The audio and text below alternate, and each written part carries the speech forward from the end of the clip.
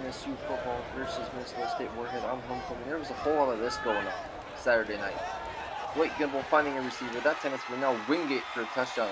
Wingate got two passes in the game, both the touchdowns, his first two career touchdowns as a Mustang. Not a bad Saturday night for Wingate there.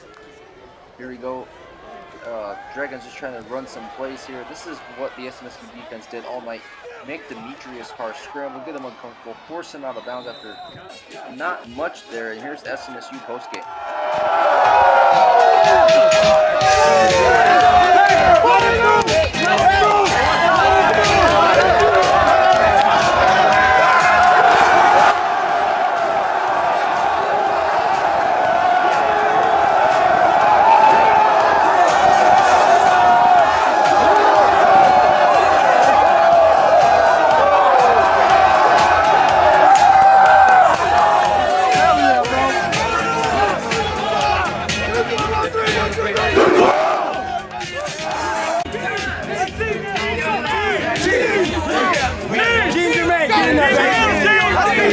This is for team, fellas.